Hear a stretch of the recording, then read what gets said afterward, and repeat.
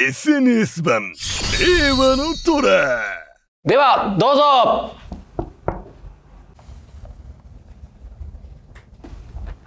お願いします。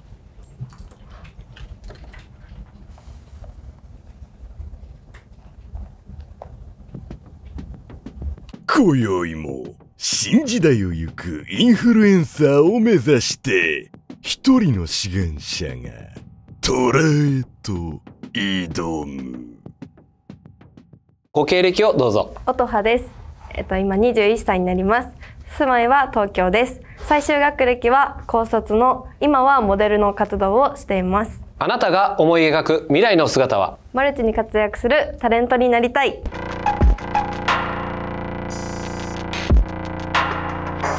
新しい認知をつかみ取れ。キャッチ・ザ・インフルエンサーまずは簡単な経歴をお願いします。整形500万円分東京も込みでしてて全身和彫りが入ってるっていうのがまず一番見た目のインパクトかなっていうのが一応あります。中学では生徒会長したりだとか割と成績優秀で家もお堅い感じで育てられたんですけど、まあ、あることをきっかけにだんだんちょっとぐれた道に行ってしまったり、まあ、海外で逮捕された経験とかもあったりするんですけどそこから今また一から頑張ろうっていう風に入れ墨を入れ始めて今は配信アプリのミクチャっていうところでソウルジャパンの雑誌のオーディションで女子の部1位になってソウルシスターっていう肩書きでモデルの活動をしています。でまあ俗に言うインフルエンサーみたいな感じでタトゥーモデルっていう枠だけじゃなくて YouTube だったりだとかいろんなところに出させていただいたりとかしている形になっています。それではプランについてお聞かせください。モデルだけではなくタレント業を行ってまあ、和彫りのイメージだったりだとか見た目だけで評価する世の中を変えていきたいなと思っています。で将来的には和柄のランジェリーブランドを立ち上げたいなっていうのが夢である感じになります。まず刺繍がすごいですね。はい。どこまで入ってるんですか？えっと腕は区分までと、うん。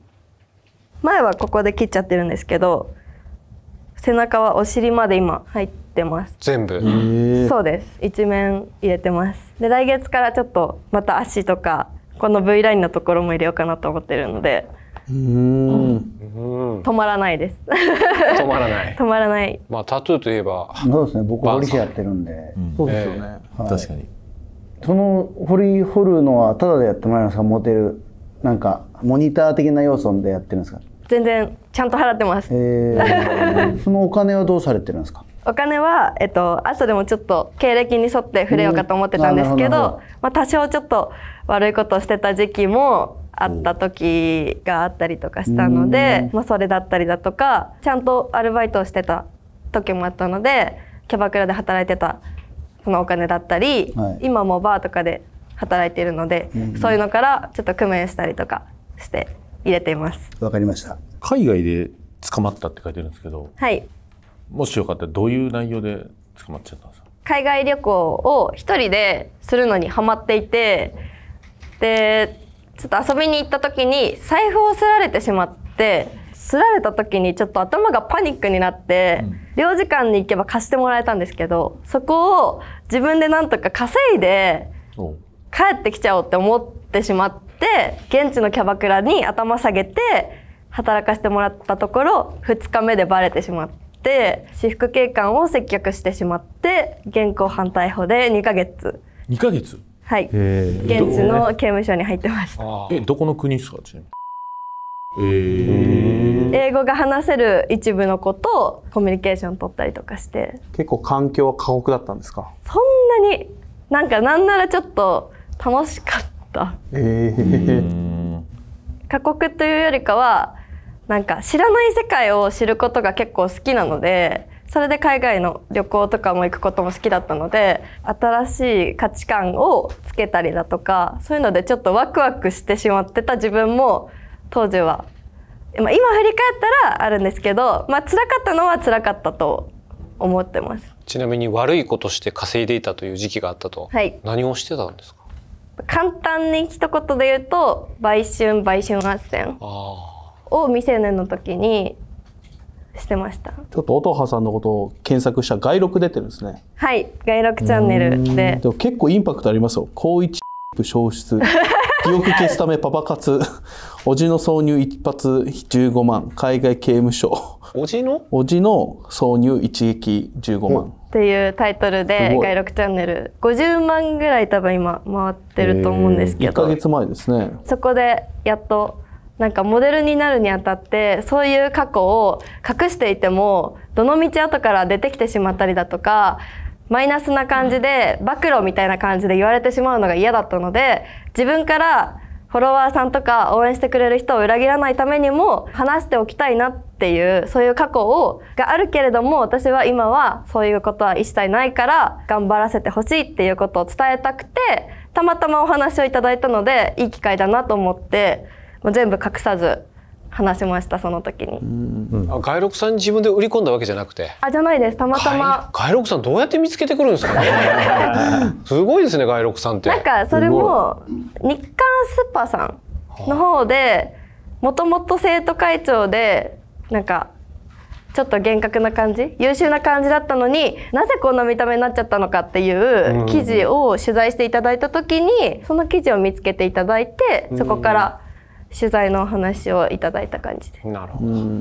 タレントさんになりたいっていうのはテレビタレントのことなんですか、テレビは結構この入れ墨的にも厳しかったりとかするので最初は YouTube だったり ABEMA さんだったりだとかそういったメディアに露出させていただいて私だったら地上波とかテレビとかこの入れ墨でも、まあ、いいよって言ってもらえるような感じになっていけるのが理想かなと。なるほど。このランジェリーブランド立ち上げたいからそのステップとしてタレントになりたいわけじゃなくてタレントにもなって、ランジェリーブランドも立ち上げたいって両方やりたいってことそうですね。両方ともできたいなと思ってます。もうそうだった時に僕も。株式会社お客様皆様おかげさま代表島田貴文通称島やん学歴なし人脈なし借金を抱えながらの開業で今や国内外問わずラーメン界を圧倒全国フランチャイズ店舗プロデュースなど人の役に立つラーメン屋として快進撃。ラーメン屋経営 YouTuber 島やん志願者の味をどう引き出す？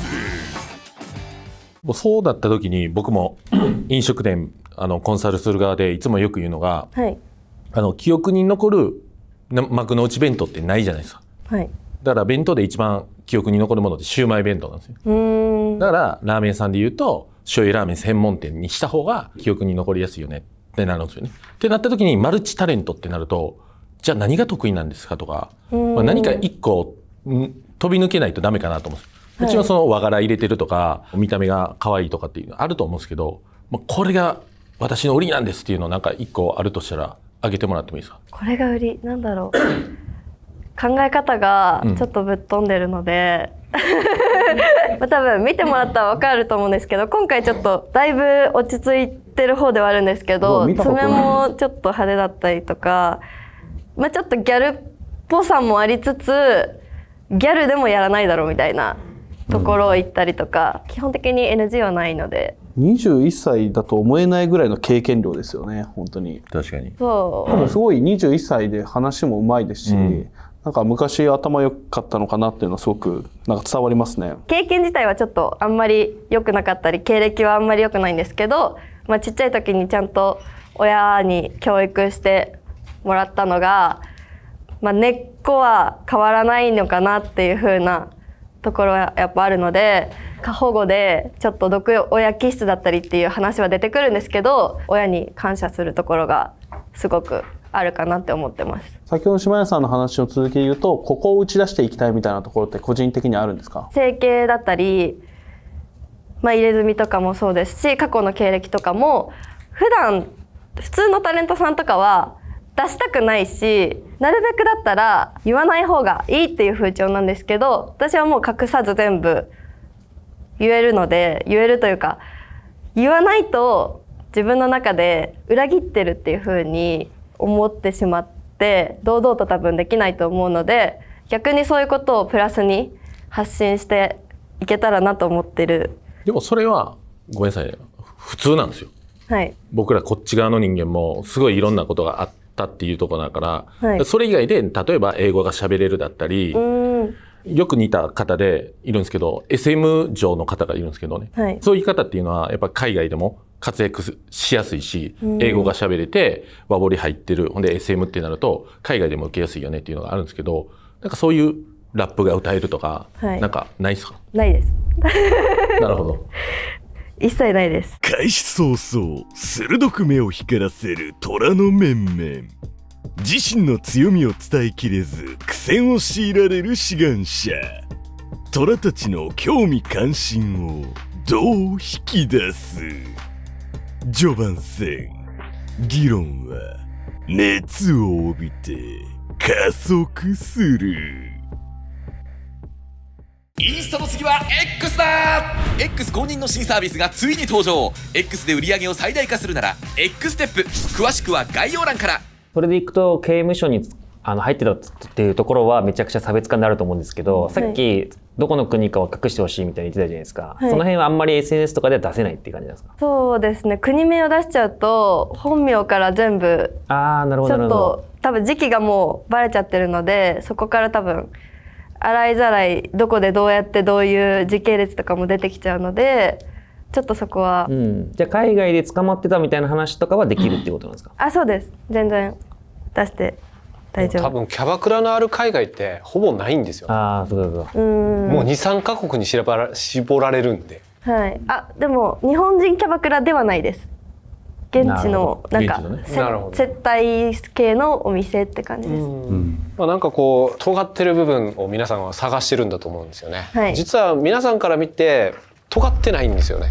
あー。はい。よくある尖ってる人って感じですよね。もう普通というか犯罪を犯したっていうのも自分の性格のこの激しさから犯してしまったわけじゃなくはい。ちょっとうっかりミスしてしまいましたっていうレベルなんで。そうですね。今の部分破天荒な感じもしないし、はい。そのあたりがこうトークしててやっぱりみんなちょっと感じてるんじゃないかなって。根が真面目なところが多分、うん。出ちゃうところは。それはいいことなんだけどね。でも逆にそれも武器になるような気もしててめっちゃ怖そうな顔してるけど超ほんわか系女子みたいなはい。アカウントとかを作ったら差別化になると思うしうん。あとなんかその風当たりが強いって書いてあったじゃないですか、はい。でそういうのも払拭できるような気もするなっていう。でそれをやるには僕動画がないとダメだと思うんですよ。写真だとどう見ても怖く見えちゃうんではい。喋、ってる喋り方とかなんか雰囲気がすごくほんわかしてる感じがするんで。って考えると YouTube か TikTok かインスタのリールをやってた方がいいんじゃないかなって僕は思ったんですけど、はい。インスタは唯一やってて動画一本もアップしてなかったじゃないですか、はい。なんか動画をやらない理由みたいなことってあるんですか？動画がどうしても苦手というか、うん。動画が苦手というよりかはさっきも書いたんですけどいろんなちょっと YouTube に出させていただいている過程で私が一人で喋るっていうよりかはこういう感じで引き出していただいて自分の良さが初めて出るのかなっていうふうに思っているので一人じゃどうしても自分の納得するものを出せる自信がないのと今まで自分の一人の力だけでは動画は負担になってちゃってたのでどうにかパートナーとかそういうの引き出してくれる方頭の回る方がいらっしゃればちょっとこれからやっていきたいなっていうふうに考えて今今。例えばそれだったら自分ががっつり出なくてもなんかそのストリートスナップみたいなあのアカウントって多いじゃないですか。ストリート系のアカウントとかって誰かが毎回ゲストで出てくるみたいな、そういうパターンったらどうですか？ね例えばナンパされるまで待ってみたいっつって服全部隠してはい。でナンパされてついていってる間にその服がどんどん露出していくとかだったらすごい面白いと思うんですよ。でこれだって毎回相手によっていろんなコンテンツ作れるし、はい。そういうコミカルなことできるほんわかした面白い女性なんだな怖い人じゃないんだなタトゥー意外といいんじゃない？みたいな風にもつながるような気もするし、うん。そういうアカウントとか面白いような気がするんですけどね。面白いと思います。採用されました。かわいい考。えてもいなかったです。あなるほどなるほど。ああでもすごいアイデアですね。あありがとうございます。さすがホテルの再建をしてるだけあってアイデアマンですね。ありがとうございます。スーパーアイデアマン。なんかどうしても自分が話したりだとかそういう方ばっかりを考えてたのでコミカルな方のアイディアがなかったのでやっていけたらプラスになるんじゃないかなと思ってます。一番稼いでるのは、はいミミクチャのやつで稼いでるってことですか？稼ぎは。ミクチャーに関してはオーディション？雑誌のオーディションのために配信をしていただけなので今は配信はしてなくてコンカフェとかバーとかのアルバイトで収入を今は得てます。でライブ配信はやっててやっぱり一人語りじゃないですか、はい。あんまりしっくりこなかったんですか？そうですね。自分の中であんまり楽しいとは思えなかった部分が最後の方とかたくさん見に来てくださってる時は楽しいんですけど、12時間とかずっと配信してると、まあ、やっぱり仮想になる時間帯とかもあったりするのでそこは結構苦痛だったなって思ってはいるんですけどプラットフォームをちょっと変えてまた新たにやっていけたら配信自体は嫌いじゃないのでよくインスタライブもやってたりするのでなんか話したいことがないわけじゃなくて、引き出してもらった方が問答形式の方がはい。思いを素直に分かりやすく伝えられるっていうそうですね。自分から話題を作るっていうよりかは話題があることに対して話す分にはいくらでも話せるんですけど、はい。0から1を作るのがあんまり得意じゃないかなって自分的には思うので。すいません。今現時点でファンの方ってはい。男性、女性どっちが多いなっていう感じなんですか？会いに来てくださる方は女性のが多い感じですか？多いんですけど SNS は男性の方が圧倒的に多いかなとは思ってます。なんだろうそのいろんな十字架のあるようなこう人生があるじゃないですか。いろいろこう、まあ、黒歴史というか、まあ、いろんな思いしたり、まあ、それに裏切られたり逆にそれを理由にやり返しにようなことが起きたりとかいろんな起きていく中で今最近はそのモデルとか、まあ、外録出ましたとかそういうの中で今現時点 Now on で、はい。えー、とそういう何か、まあ、性的な問題でもいいんですけどなんかそういうことって起きてるんですか？港区のおじさんにいい話をされて騙されそうになってみたり都合いいようにうまく利用されそうになった経験は終わりですか？それはありますけど実際は受けてはないです。うーん。そういう話はいくらでもあったりはしますし私自身もまあキャバクラで働いてたこともうん。あった。プラス私が芸能系をやりたいってことも知ってる人とかはそれを口実に誘ってきたりとかはあったんですけど、まあでしょうね。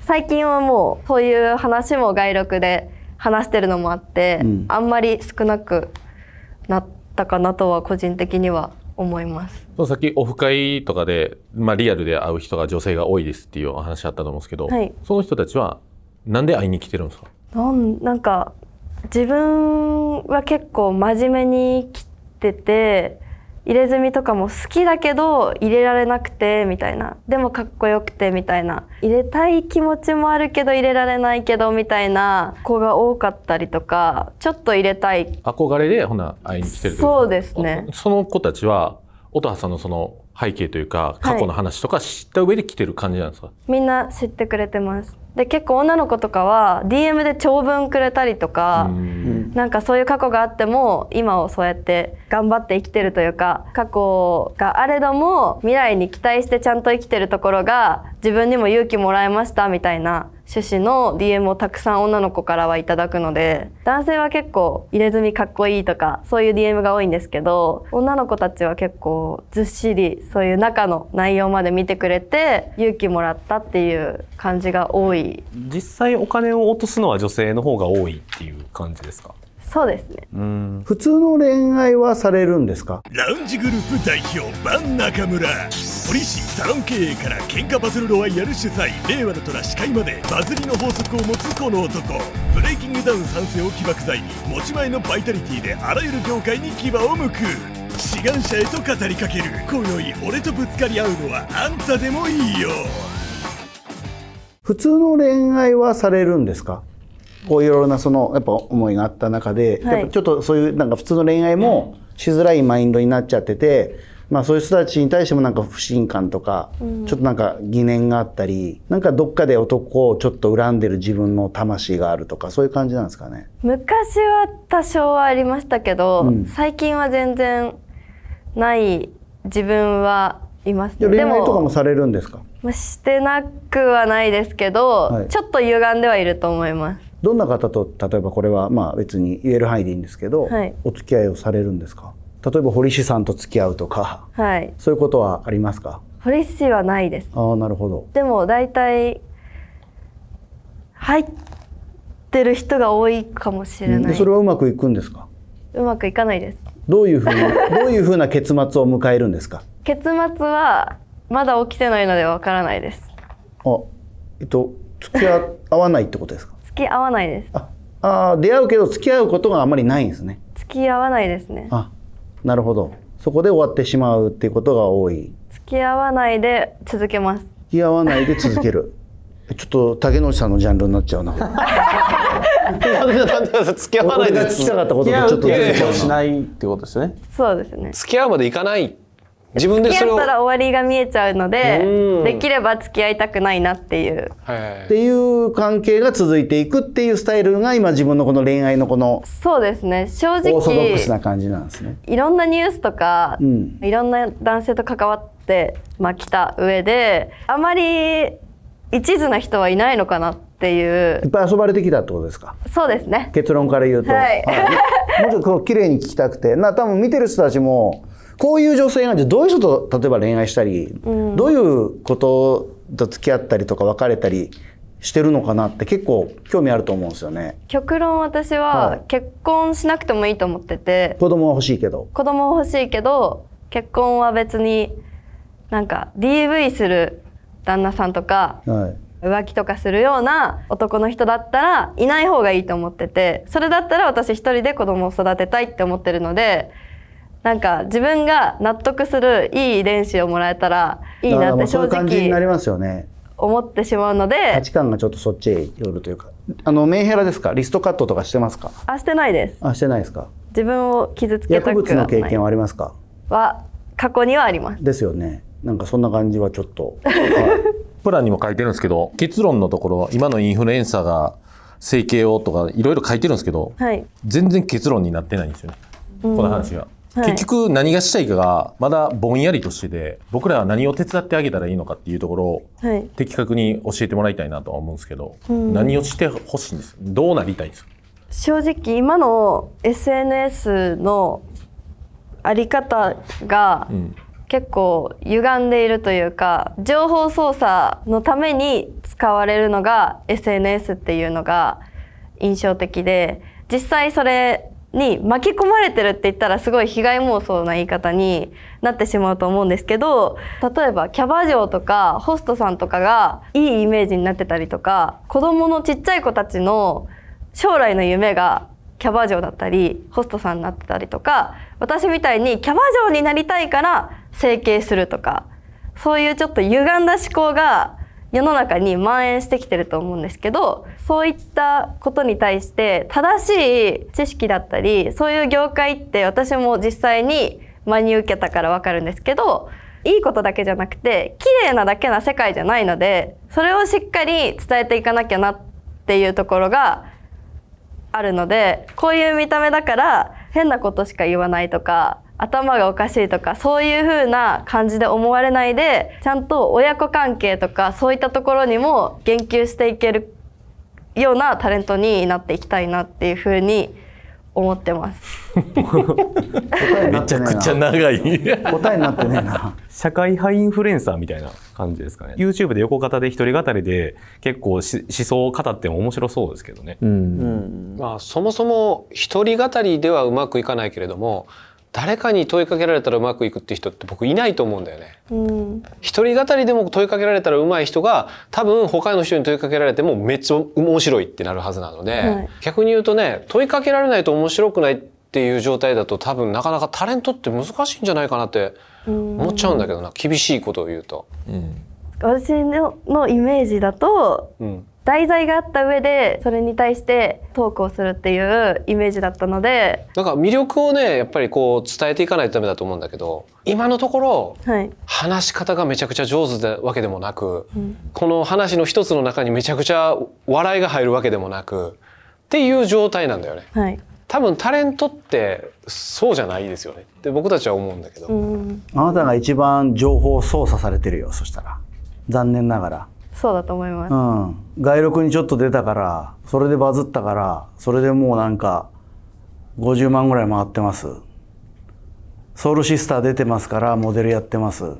それも含めてどうしたらいいんだろう。うん、じゃあ入れ墨もどのタイミングで何のきっかけで入れたかはもちろんわからないけど自分の行動で何か答えを出したり自分の行動で何か人を動かして泣かしてみたり何かそこに活動した成果が結果が伴って初めて何か伝えたいとか変えたいってことが起きるその先のことだけどあなたは誰かがそうしてくれたら私はそれでできるかもっていうなんか人のふんどしで土俵に上がるような今言葉にちょっと多分みんなは聞こえてる可能性が高くて、なんかそこの今すごく話は丁寧なんだけど別になんかやからになれっていうわけじゃなくて心で喋って魂で喋ってほしいなというか、うんもう私はもう恨んでんだと。なんかそういう何かだけでも少しはきっかけがないとそこに人はよしって俺も思えなくて。だからさっき最初ごめんなさい入ってきてあその雰囲気とこの内容を見て何聞こうかなって思ったんだけど正直ずーっとなんかうん何にも聞きたくないなっていうか聞くことが思いつかなくなっちゃって、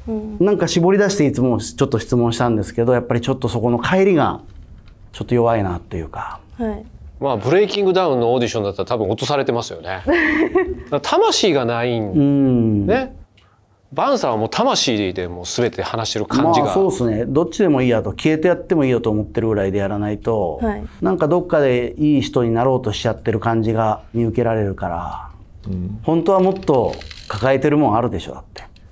そう。もっと強い思いがどっかにあんたの中にモンスターがいたりするよね。そういうのを俺は出した方がきっと見てる人たちにも響くし、ここにいる人たちも何を協力してあげたらいいんだろうなってのをもっと情熱を持って考えれるけどこれで俺 YouTube 一緒にやろうよとかなんか思えないんだよね。うん。うん、っていうよりむしろそのうち消える、まあ、あよく消えてくああいうタイプの、まあ、そういう人たちなんだろうなの一人なんだろうなぐらいにしか見えなくなっちゃってて。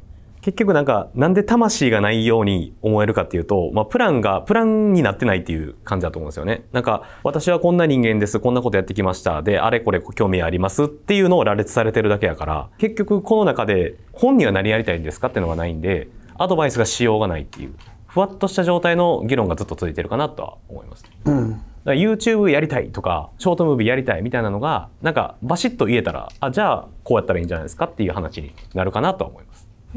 魂の言葉で語れ虎たちからの提言に志願者は一体いかなる答えを示すのか次回後半戦膠着状態が続く議論が動き始める